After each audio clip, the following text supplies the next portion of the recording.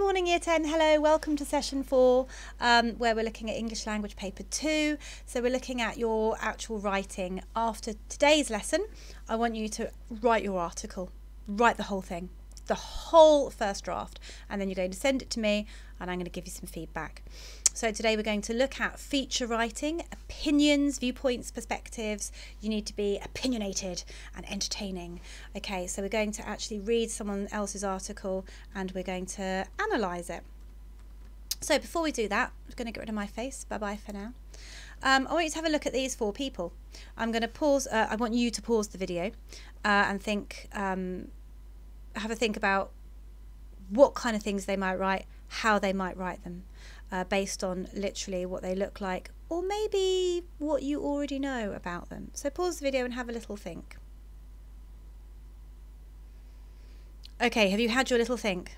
Excellent, jolly good. Okay, uh, let's go through them one at a time. The one on the left here, the far left, with the white hair, his name is uh, Jeremy Paxman. He used to present Newsnight and as you might expect, he's going to have quite serious political views. Um, he's a bit older, isn't he? So he looks like he probably knows what he's talking about. Okay, next to him, holding up a sign that says arse.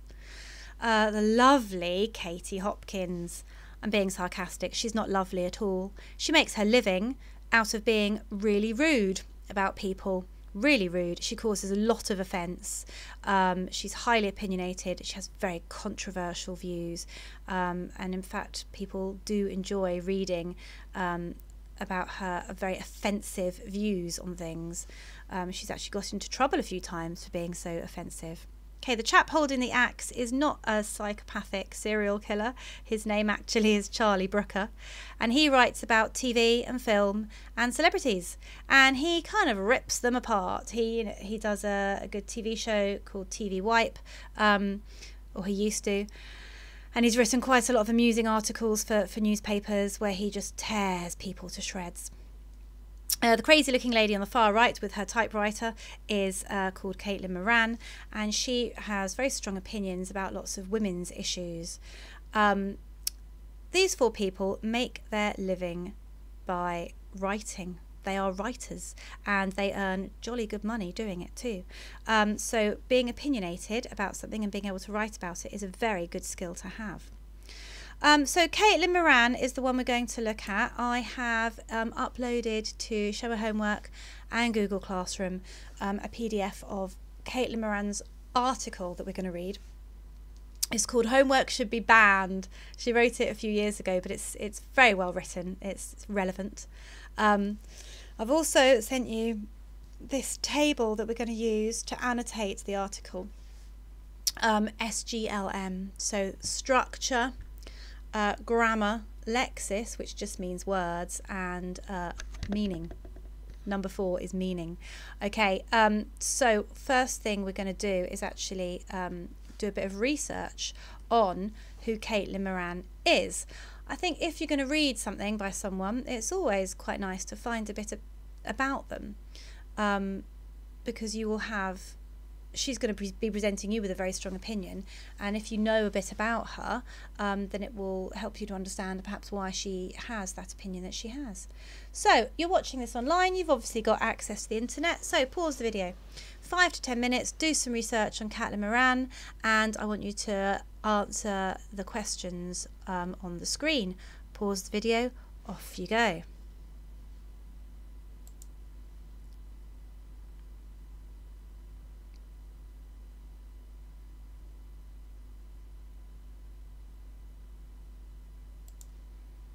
Okay, you done?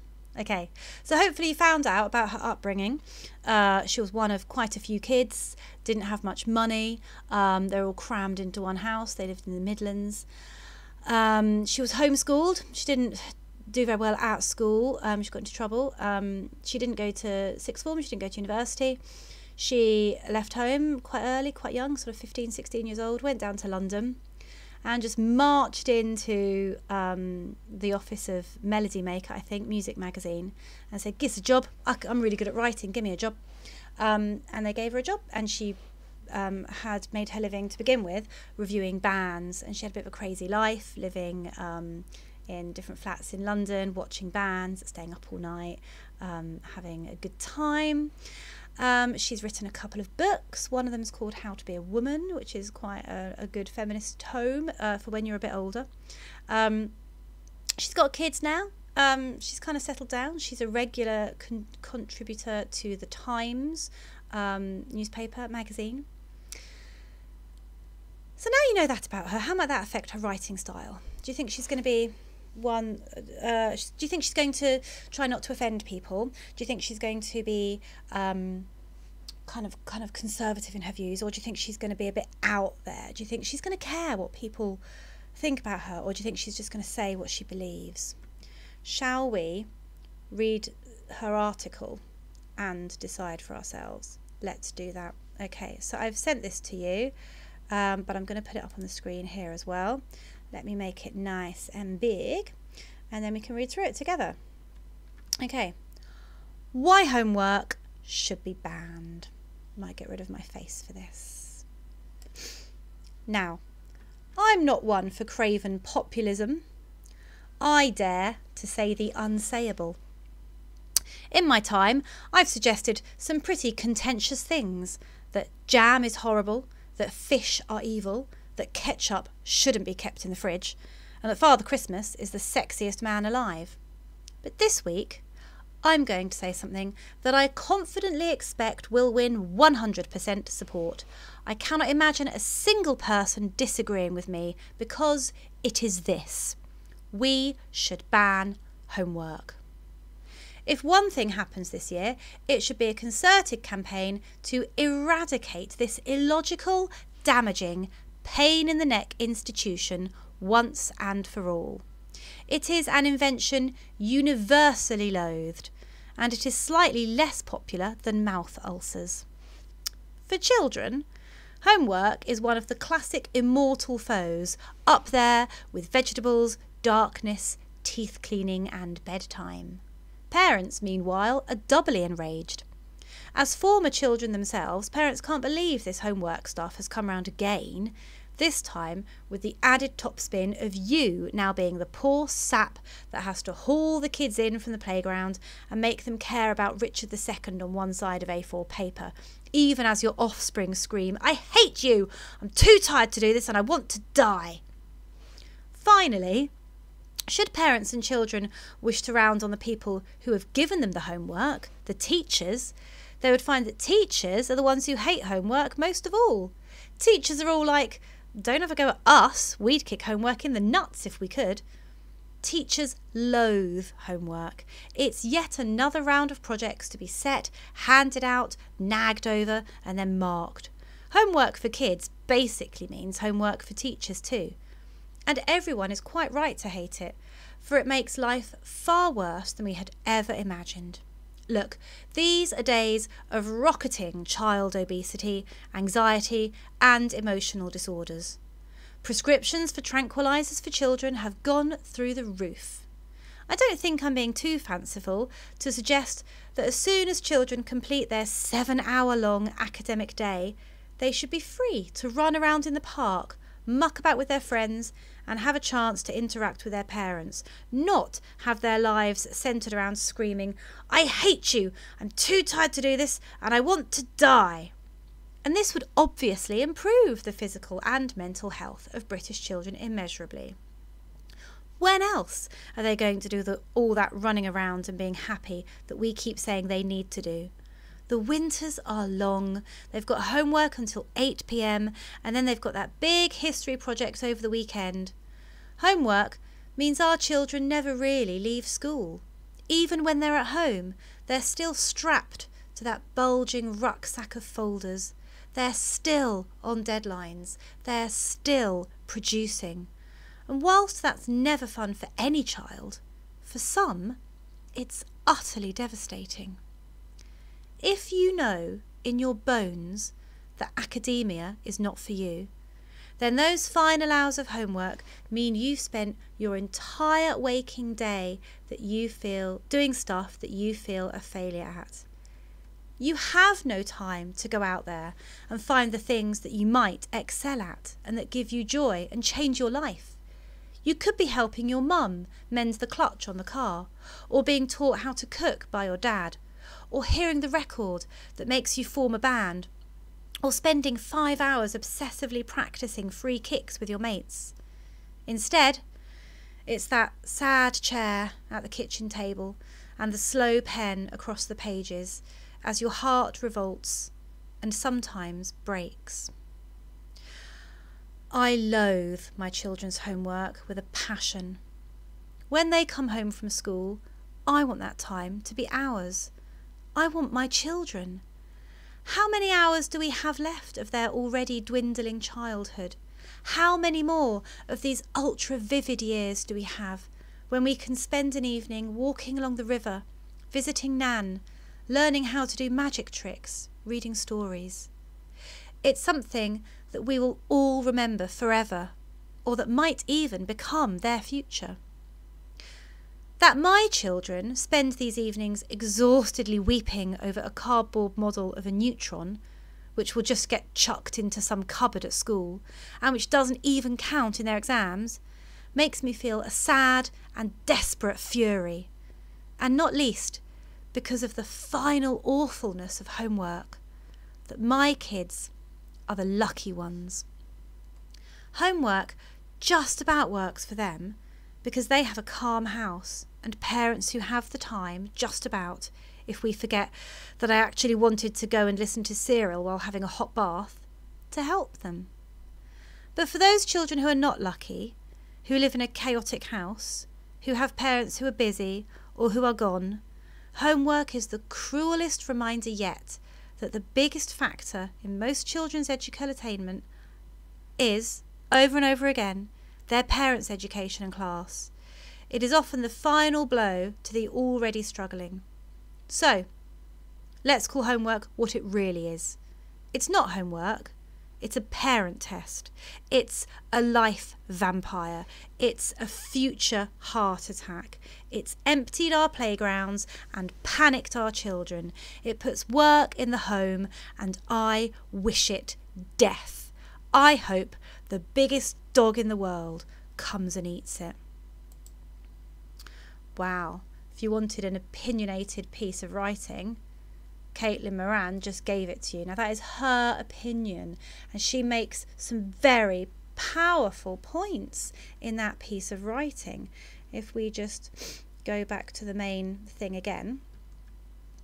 So she says why homework should be banned. Okay, so she starts off by saying that she um, is quite happy to say unsayable things. She's quite happy for people to disagree with her, but she's convinced that this is one time when no one's going to disagree with her. She gives some really good reasons for this. She says um, kids hate it. She says parents hate it. She says teachers hate it. And then she gives some reasons. She gives us some facts as to as to why it should be banned. She talks about childhood obesity, we do know that kids are getting more and more obese every year. Um, so we should let them run around. So if they're doing homework, they're sitting down, aren't they? They should be running around. Um, she then makes the point that kids who aren't um, sort of academically good at school, who spend their whole day at school feeling like, oh my God, I can't do this, um, to make them then do that again at home is just cruel. And they should be given time to find what does give them joy and what they are good at, like playing football or writing music or uh, mending cars or cooking or whatever it happens to be. Uh, she then also talks about the fact that kids should be able to be kids and just spend time with their families. And then the last point she makes is that kids don't always have somewhere quiet to do their homework completely. It's, it's really difficult to find a, a, quiet space, isn't it, in your house to get anything done at all uh, without your brother and sister coming in or people coming round or parents or grandparents or whatever. So it, it can be really difficult um, to actually find somewhere to do it. And she says actually homework is a parent test, isn't it? The kids who get their homework done are the ones who've got parents who make them do it. Um, so she makes some really, really good points. But what we're going to look at is this uh, table. This is what we're going to look at. So we're going to um, actually begin to annotate the article using structure, grammar, lexis, and meaning. Okay, so the one that I've um, uploaded to you already has some examples in here. Um, you don't have to use these. You can use your own examples. Um, but I think it's it's really worth doing that. So the first thing we're going to look at is structure. So on here, how has she laid out the article? How do we know what she's going to be talking about? How does she warm us up for the main argument? And how does she stop this just being an unstructured rant? Okay, so the examples I've given you when she says at the beginning, I dare to say the unsayable, she starts off by telling us um, crazy things that she has said, like fish are evil and jam is horrible and Father Christmas is sexy. We're like, what? The hell is this crazy woman on about? And then she says, no one's going to disagree with me on this though, because then she tells us what it is. Um, so in the effect box underneath, I want you to, you know, try and answer those questions. How does she warm us up uh, for what she's going to be talking about? Um, she sort of teases us, doesn't she? We're kind of expecting her to say something ridiculous, and then she says something that makes us go, "Oh, okay, so this isn't completely off the wall. Let's see what she's got to say." Um, towards the middle of the article, she gives us loads of examples, loads of reasons. Um, she really builds up her argument with lots of well thought through reasons. Um, one quote that I quite liked was where she said, Homework means our children never really leave. Oh, that says home, it should read school. Homework means our children never really leave school, which is true, doesn't it? Homework means our children never leave school. And then at the end, she says, Let's call homework what it really is. And she gets back to her point of saying, It's just um, a parent test. Okay. So that's the first um, the first bit on structure. How has she laid out the article? How do we know what she's going to be talking about? How does she warm us up? How does she stop it being a rant? So fill in your table and then we're going to look at grammar. Okay, so again, on the um, PDF, I've filled in a bit on, on the grammar here, but let's have a look at the questions. How does she use different sentence styles and lengths for effect? What about her use of subordinate clauses? So I put some work on that in a previous lesson. Do these make for a chatty tone? How has she used punctuation to make her ideas clear? So again, she starts off with a list. Jam is horrible, fish are evil, Father Christmas is the sexiest man alive. Um, it's kind of funny and engaging to, to, to start with a list. Um, different sentence lengths and different styles. Um, in the fifth paragraph, she uses a really long, complex sentence. Uh, have have a look back through the article; it's really long. Um, so she she contrasts that with lots of little short, sharp sentences to keep it interesting. And just varying your sentence length will do that. She has this uh, use of dialogue in here as well. I hate you and I want to die. Um, and she repeats that, doesn't she? Um, subordinate clauses are all over the place. Um, she sort of interjects, you know, where you've got a sentence, then a comma, and then a subordinate clause, and then a comma, and then the rest of the sentence. And she sort of gives us her opinion, and it makes it quite chatty. It makes us want to engage with her. Okay. Um, Lexis, just looking at the words she uses. How has she mixed up sophisticated vocabulary with informal vocabulary? Why has she done that? Has she chosen words carefully to create humour, perhaps exaggeration? Has she used direct address I, you, me, we? Okay, so um, I picked up the very, very first sentence. She says, I'm not one for craven populism. That's very sophisticated vocabulary, isn't it? Craven populism. You've probably already Googled it. It means that she's just saying what she thinks people want to hear. If sorry, if you are craven populism, if you are one for craven populism, then you would just say what you thought people would want to hear. She doesn't do that. She doesn't say what she thinks you want to hear. She tells you the truth. She gives you her own opinion. Um, okay, so she's basically saying, "I'm I'm not worried about offending or upsetting anyone because it's it's what I think." So craven populism is quite sophisticated vocabulary. Similarly, um, if you know in your bones that academia is not for you, academia just means being good at academic work, reading and writing and maths and science and that kind of stuff, rather than creative or, or physical um, physical things. So, uh, craven populism in academia. I'm sure you can find lots of other examples of very formal language. But then she does mix it up. Pain in the neck, she uses, which is a, a an idiom. It's a kind of slang, isn't it? She says, "Oh, teachers are all like we'd kick it in the nuts, which is terribly informal and, and slang. And then at the end, she says it's a life vampire. Uh, homework is a life vampire. So she mixes it up, her formal and informal language. What's the what's the effect of that? Does the slang, does the informal language make us like her, as if we're sort of chatting casually with her, makes her seem like more of a friend? But then we've got the formal, very formal language, which perhaps um, makes her seem like an expert. Oh, this woman actually knows what she's talking about. We tend to pay more attention to people who sound clever, don't we? The ones who use big words. Yes, basically using posh words makes you sound like you know what you're talking about. So she's she's she's trod this very fine line between being our sort of chatty friend on one hand and then the expert on the other. Okay, I'm talking much too much. Uh, meaning, okay, look at imagery and cultural references. So she makes a few cultural references. Uh, how, how can you make kids care about Richard II on one side of A4? Um, this is true. Uh, one side of A4. We all know that that's that's the paper that, that we write on, isn't it? Let me just get this uh, this back up for you here. Okay. Um, so these cultural references have helped her get her meaning across. She's talked about one side of A4 because we share that cultural reference. Um, the, the last thing she says, I hope the biggest dog in the world comes and eats it.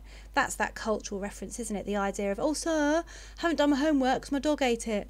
The dog ate my homework. That's something that is a cultural thing, isn't it? We know exactly what she means. But then we ha- also have, if we go back to the PowerPoint here, some imagery. We've got some beautiful imagery in here. She talks about vivid, um, vivid evenings and vivid memories and lovely images of walking along the river and seeing your nan.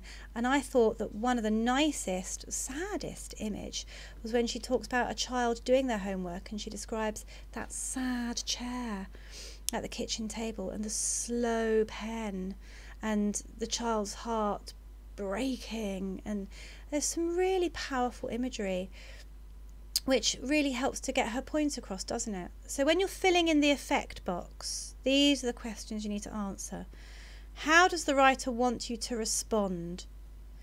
Uh, are they trying to engage you by making you laugh, perhaps? Are they trying to just change the tone to keep you interested and to show that they can go from being your friend to being the expert, to convince you, to agree with them? Do they try and show that they're the same as you? Are there things in here that she's referencing that you're like, oh yes, yeah, I, I, I can relate to that? Um, or is she trying to show that she's got access to expert advice? So, what is the effect on the reader? Is it designed to make us feel sad, feel sympathetic, feel empathetic? All of these things are done for a reason. Okay, last little bit I want you to have a, have a think about just going to give you some prompts for your own writing. So, four sentences I need you to write. I want you to answer how can you improve your writing using structure? Okay, so look back at this structure the beginning, the middle, the end. Tease your audience, have some really detailed um, arguments, and then wrap it up in a really clever and sophisticated way. How can you use grammar to improve your writing? Okay, again, so think about your sentence lengths, subordinate clauses, punctuation, mixing it up. What can you do with Lexis to create good writing? So I don't want you to use swear words, but some slang, some idioms, um, mixing up with very, very formal, posh words. If you use very formal word of the week, you know, words the whole way through, great, but it becomes a little bit too the same. Okay, you need to mix it up and keep us engaged and interested. And then lastly, how can you draw on the meanings created in your writing to improve the effectiveness of your article? Okay, so if you can make some cultural references, have some beautiful, powerful imagery in there, that would be really, really great and it would really help your writing. So, four sentences, I want you to think about your own topic, whatever it is you've chosen to write about. Uh, the importance of planning. Okay, let's get rid of my face here. Okay, exam hacks. Okay, this is a brilliant planning sheet that Mrs. Nunnally put together. Planning sheep? Planning sheet. uh, so put your question in the middle box. Whatever it is that you've decided you're going to write about. I hate mobile phones. I hate YouTube. Um, I hate, I don't know what it is about the modern world that you hate. I'm interested to find out. Put that in the middle and then fill in the boxes around. We've got some starters. Imagine, so imagine world where well, mobile phones didn't exist. Or talk to the reader my friend. I know that, blah, blah, blah. Uh, use pronouns. We must do this. It is our. Okay, remember we talked about that last time, didn't we? Move from I to you and then we. I think you expect we know. Verbs are incredibly important when writing a piece of nonfiction. Um, students cry and they weep at the idea of completing homework. Parents endure the pain of homework too. Uh, lists, uh, Caitlin Moran's used lots of lists. Pain, anguish, anxiety. Lots of rule of three. Don't forget your rule of three. Uh, then you can raise the level of urgency and importance with modal verbs. So it's quite nice to start your piece of writing with things like could and might, and then finishing with must and have to. You know, finishing with some very, very bossy, powerful verbs at the end there to say that this is non negotiable. Okay, what you've also got are some fabulous sentence starters here. Um, you have this PowerPoint as a PDF so you can have a look at these. Some brilliant sentence starters and some signposts for cohesion counter arguing. It's a good idea to look at the other side of the argument. You know, some people might think this, but actually I think that. Okay? And then the last thing that you need to do when you have written your article is you need to proofread it and edit it. Okay, you need to make sure you've used the best kind of vocabulary you can. Oh, it says look at the display. You're not in the classroom, you can't do that. Can you replace adjectives for more powerful ones? Can you improve any of your sentence starters?